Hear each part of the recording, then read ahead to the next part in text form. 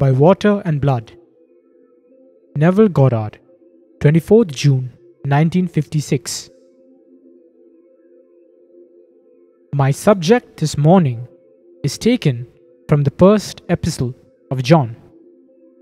Now, these 21 letters, or as we call them, epistles, are not really addressed to individuals or groups. They are mysteries, as is the entire Bible. Whether the Bible in the Old Testament tells the story in the form of history, or whether they tell it in the form of a parable, or whether in the form of a letter, they are all revelations of the mind of God expressed in symbolism. Now, I do not claim that I can give you an exhaustive interpretation of any single story of the Bible, because they are revelations of the mind of the infinite. No single interpretation could ever be exhaustive. On one level, it may be true, and then you and I expand in consciousness and we reread the letter and see it differently. And a further expansion in consciousness causes us, even when we reread it for the 50th time, to see the letter in a different light. So, in this morning's interpretation, I will try to keep it on a level that is most practical. We are told in the first John 5 This is he that came by water and blood, even Jesus Christ, not by water only, but by water and blood. So, these are symbols of the birth. Every natural birth in the world is accompanied by the flowing of water and blood. It's trying to tell the individual of a certain mystery of birth, but he uses the words Christ Jesus, and that is the symbol of a truly mysterious birth. Something out of nothing. That is the mystery. Out of death, life. Man cannot conceive it. How can something alive come out of that which is dead? How can something come out of nothing? Man accepts it in the mineral world, for he sees if he goes back far enough in time, he could push the mystery in some remote past. He will accept the fact that sometime, in a way not known to modern science, out of non organic substance came organism. He will call it by some little tiny name, an amoeba and that will satisfy his mind. But he stops. He still will not admit that he stated that there was a non organic substance, or nothing, or something that was dead, out of which came life, out of which came something. He doesn't want to wrestle with that problem, so he leaves that, jumps over the pages of history, and comes to some little thing more complex. Then he teaches evolution from that state. But when he goes far enough back, he finds no answer for the appearance of life out of nothing or death. So here is the mystery it comes by water and by blood. Not by water only, but by water and blood. This is the great mystery of the incarnation, the death, and the resurrection. What incarnation? What death and what resurrection? The mind instantly thinks in terms of 2000 years ago, and we think that was the great mystery. But before I jump into the mystery, let me quote you the very last verse of this wonderful fifth chapter. Little children, keep yourselves from idols. No matter how official justifies them and tells you this is the image of your Savior revealed through the minds of a saint or a great artist, you are warned in this chapter to keep yourselves free of idols, in harmony with the second commandment Thou shalt make no graven image unto the Lord thy God. No matter how it is justified by officialdom or orthodox society, you are asked, please, not to make anything external to your own mind and bow before it as creative power. For here, he is trying to reveal the true creative power that is in man. It sleeps in man as his passive mind. As you unfold the mystery, it awakens from its passive state into its active state, and the birth of active mind is truly the resurrection of Christ in man. It is Christ in man.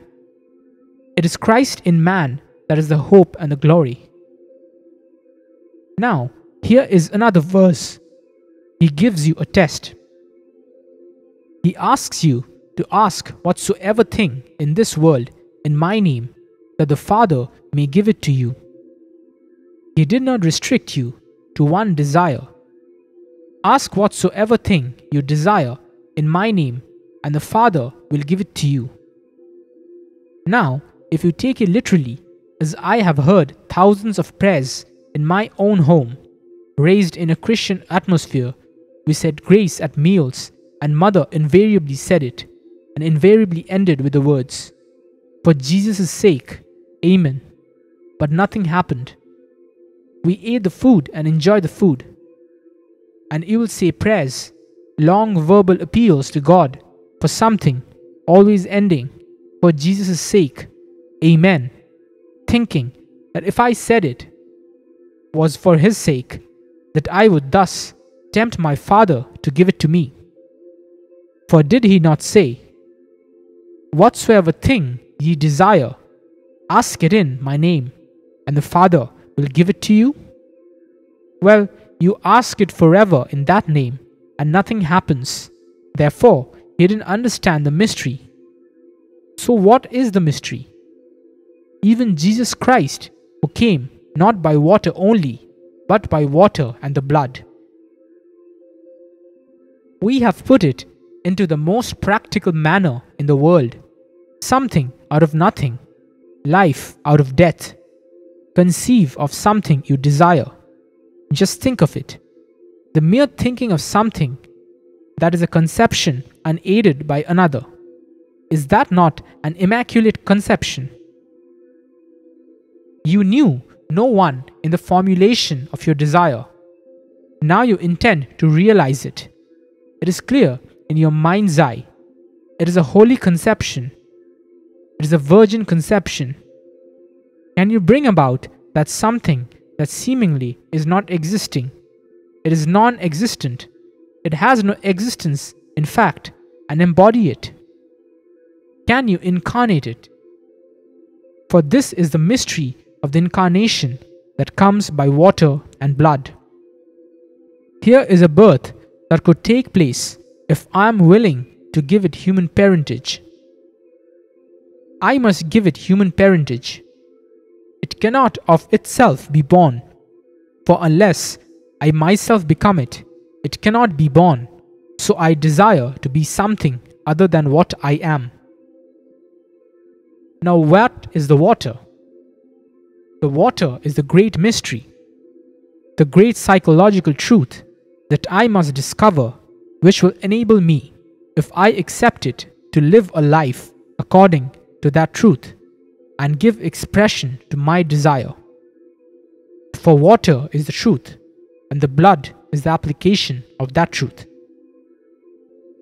I could know everything in the world to be known of the mystery, but never live by it still continue to live as I have always lived, passively accepting the evidence of my senses as fact, accepting the dictates of reason as my guide. I could overhear a conversation, or could read it in a book, or hear it in a place like this on Sunday morning.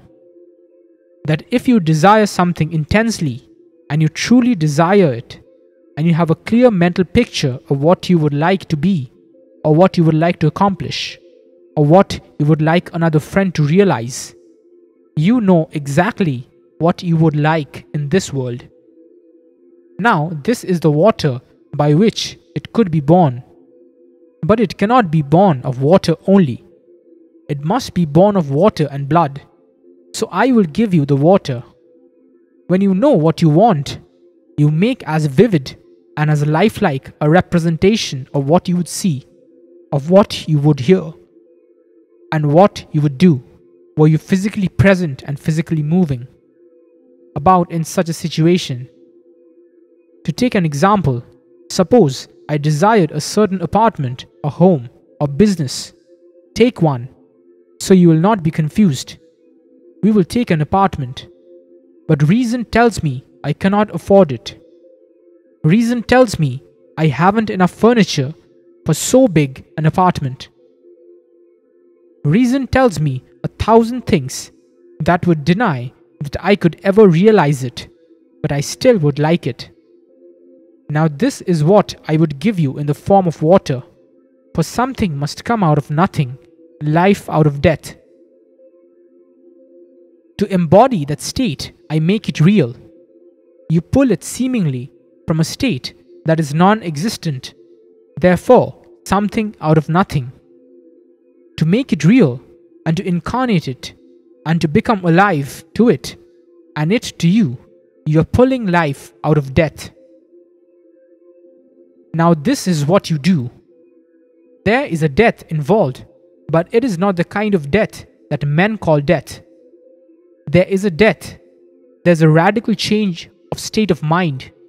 You completely give up the belief that you are not living in such a place. That is irrational. But that is what you are called upon to do to completely deny the evidence of your senses and to boldly assume that you are already in that state that you occupy. There you dwell in a state that reason denies. You dwell in an assumption that your senses deny. That is not just the water. If you do it, you are applying the blood if you are told to do it, you are given the truth, for it will work. That water, if you could only add the blood to it, will bring the invisible state into the visible world, and what seemingly is non existent will crystallize and harden into fact. But if you only know it as too many of us know it, and think the mere knowledge is enough, we will come here on Sunday and thoroughly enjoy this wonderful hour. The music, the message, the meditation, the feeling of companionship you find here. And the whole thing is a thrill for an hour, but such knowledge cannot bring Christ Jesus to birth. In this state, Christ Jesus, now I'll analyze it for you. On a lower plane, the word Jesus, Heb Joshua, means salvation, to save. So, if I desire something and I don't realize it, then I simply continue a life of frustration. If I realize my objective, I have been saved from frustration. Take a simple matter. Suppose I wanted a suit of clothes because I was in need of raiment. If I don't realize the suit of clothes, I'm not saved from my nudity. If I realize the suit of clothes, I have been saved. For this is man all inclusive Savior, not just man. If I wanted water, literal water, a lecture will not quench my thirst. If I wanted food, literal food, the most wonderful revelation would not actually satisfy my hunger. So Jesus is all inclusive, meaning everything you desire. He is it. Because if you embodied that desire, you embodied your Jesus. Now, to embody Jesus, he cannot be embodied by the knowledge of what to do only. He can only be embodied by the application of that knowledge. So, the knowledge of what to do is called water, the water of truth. But the use of that lovingly is called the flowing, shedding of the blood.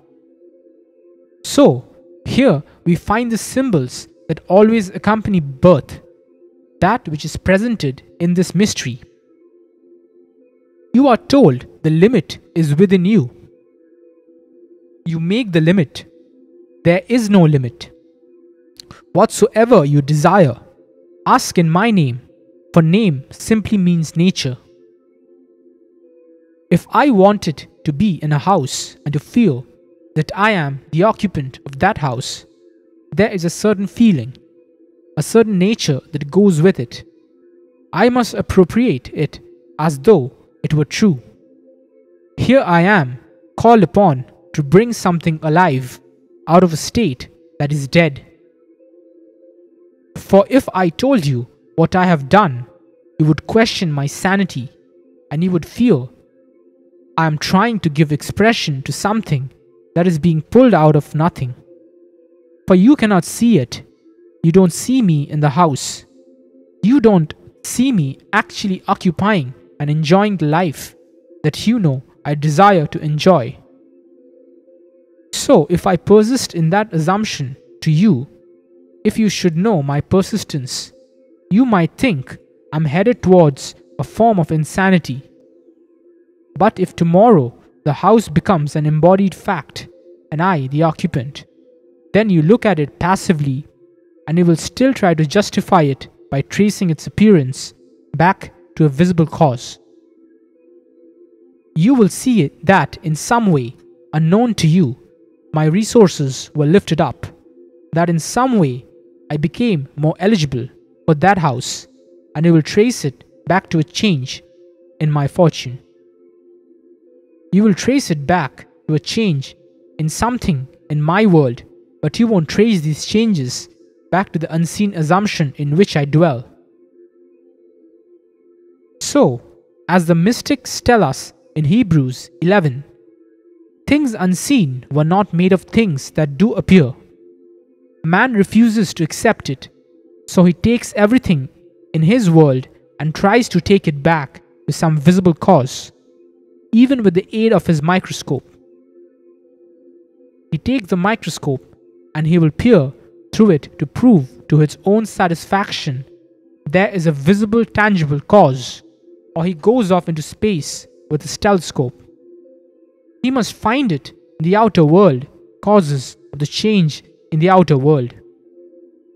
He cannot believe that the whole vast outer world is held together from within, and if we are only on the surface, looking at it from without, trying to analyze it and to understand it from without, and all that appears without, though it seems there, it isn't. It is all from within, all within the mind of man, and that is the mystery. So do not make an idol, no matter who makes you the idol, no matter what holy man tells you this is a wonderful thing that will bless you. There is no blessing in states on the outside. Bow to nothing on the outside.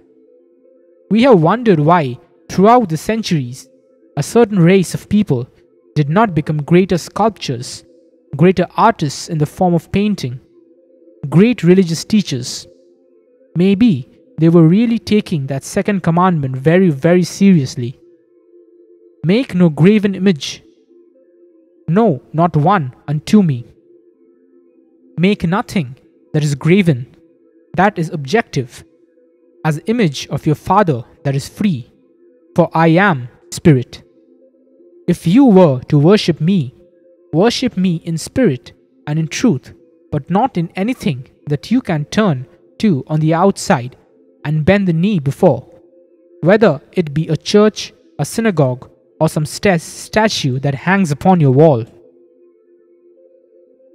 He is not there. He is in your mind. He is housed within you. There is the living God within the temple and the temple is man.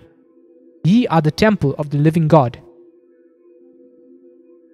So, when I speak of the water and the blood, I speak not of the things that you can see with the eye, such as water and the blood. They are only symbolized functions of the mind, and the function first comes with water. I must first know what to do before I can do it.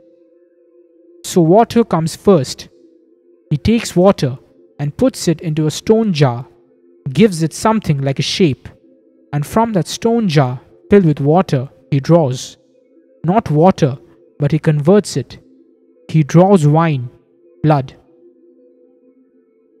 So here is the first miracle. I know what to do. I take this little world of mine, that is one, and then I extract from it something that is not seen. Not quite as hard as that, I call it water. I see something bringing all this into being. I know how it's brought into being. That a man living in luxury is not to be judged harshly because he has it and you haven't it.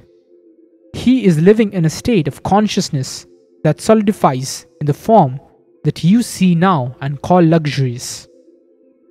One in a state of health, one who is recognized, one who is accomplished, one who is contributing much to the world. Don't judge them. They are states made visible. Find out if you can. Get into a similar state. He is not occupying the only state in the world.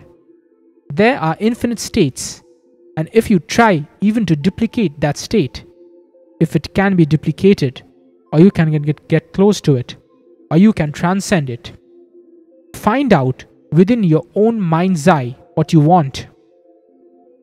Don't be envious of him. Leave him alone, for he is applying the law.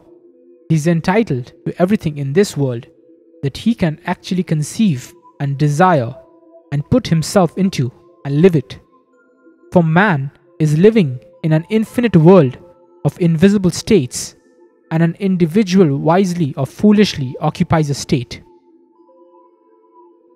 While he remains faithful to the state, the state will externalize and become the circumstances and the condition of his life.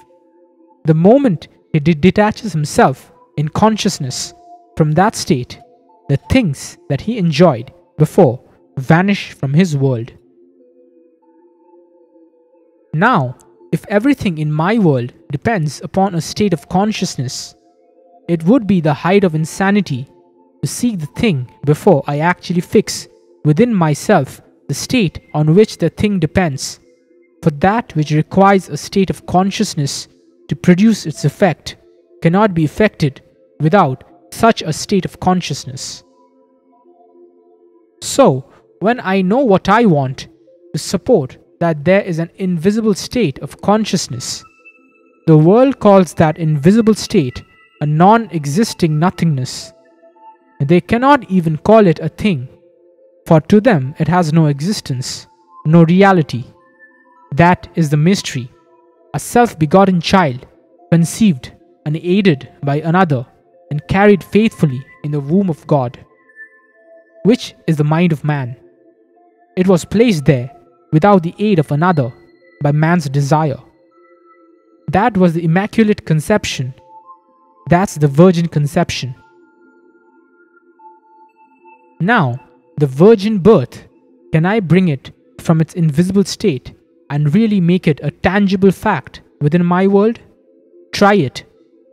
As you try it with one thing and you succeed, you will try it with 2 and 4 and 8 and so on, and eventually, sleeping giant in man, which is the Son of God in man called Christ, will awaken. He will awaken by moving from the passive state to the active state. The passive state is simply the complete and utter surrender of man to appearances. To live believing that life is on the outside and he moves from that state where he surrenders and believes all these things to be causes to the active state where he puts everything in subjection to that something within himself, which is his awakened imagination. He imagines a thing to be so. He persuades himself that it is so and walks faithful to his assumption. Then you will know why in Romans 14 he tells us that every man be fully persuaded in his own mind. Don't persuade her, leave her alone. You persuade yourself of the changes you desire expressed in her. If you desire a change in your relationships, at home or in business, you don't argue, you don't persuade them. Let every man be fully persuaded in his own mind. So, can I persuade myself that you are as, as I desire to see you? Then, to the degree that I can persuade myself, you will conform in the outer world to that persuasion. If I hope to see changes there before I myself will start the change on the inside, the chances are I will hope in vain. You, yourself, may desire certain changes, and I might see them change in my world, but they were not caused because I moved into an active state. I am still reflective, and most of us in this world are reflecting life. And the purpose of a church of this nature is to make us not reflect, but to affect life. If I affect, then Christ is awakened within me. If I only reflect it, then I sleep with Adam. And the purpose is to move from the sleep of Adam to the wakefulness of the Son of God called Christ. Adam, too, is called the Son of God but in the state of profound sleep. But he moves from that state of sleep or the passive state of mind to the active state will be no nearer the proving of it than you are now. But if you took a little bit, one drop of this water, and went out even to disprove it, in order to disprove it, you must seriously and sincerely try it. If you try it, you won't disprove it. You will be encouraged to drink more water and still more and bring about this birth of your Savior. And you decide what will save you today from your present predicament. It may be a job, it may be an increase of funds, it may be companionship, it may be something I don't know. But whatever it is that you this day desire, and unless you get, get it, you feel thwarted, you feel frustrated, then it would save you if you got it. Now take that as your savior.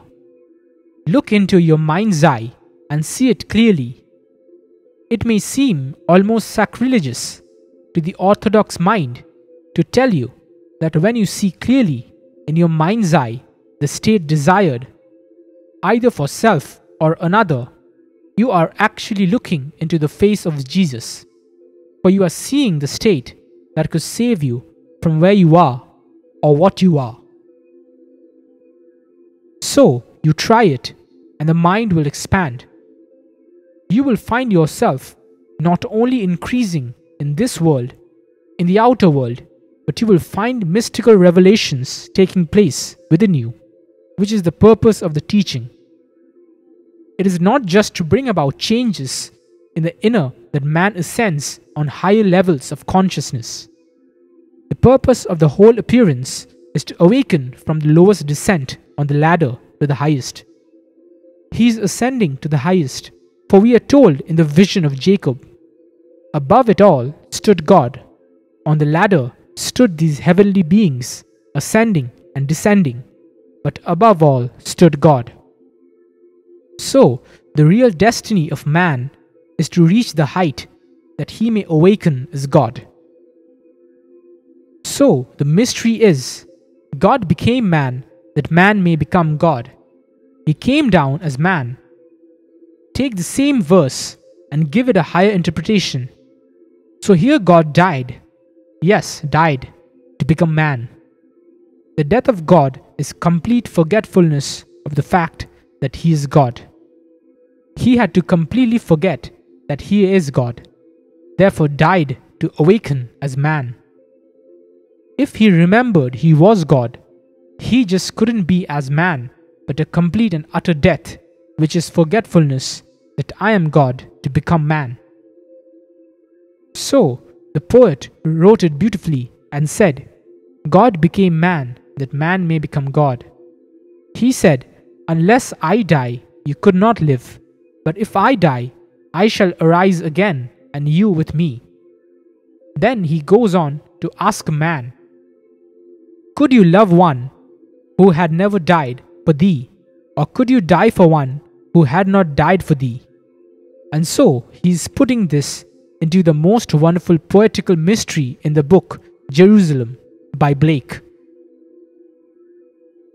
He reveals to the mind, can see it, that you who believe yourself because you are visible, and you must do what man passively must do. He traces your origin back to a germ. As long as you began as a germ, you are no more than a big germ. If you begin as something else, you are only something enlarged of the same thing. For all ends run true to origins.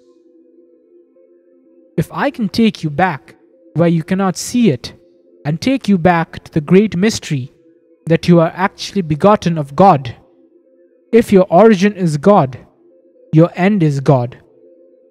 If your origin is a bug, then your end is a bug. So you have the choice. The passive mind, which is really the scientific mind, must still insist on finding causes external to itself. It cannot find causes in that passive state within itself. I tell you, the great mystery is that you came out of a seeming death. It is a death. God died to become man because he desired the companionship of men as gods, as the poet told us. Man should not stay a man, his aim should higher be, for gods will only gods accept as company. So, you cannot, in your present state of the passive mind, be companions of your Father who longs and desires that every son, every child awakens to become companions of deity. So, to do it, he had to die as God and became his creation in the hope that the creation would awaken and become his companion. But you see, he gave us such a gift. He completely freed me of the responsibility of returning. I don't have to awaken. I am as free as the wind. He gave me complete freedom of will. I may hurt myself, ruin myself, but because of the gift of God to me, to make me alive, He cannot interfere and make me awake. He may appeal through awakened children, and they may appeal to the sleeping brother, but they cannot by the same law interfere and make me awake.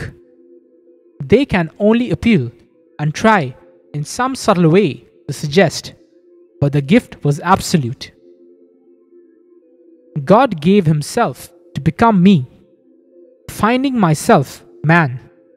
I think my origin was man, so my destiny no matter how big a man I become, no matter how wise a man, it will still be a man.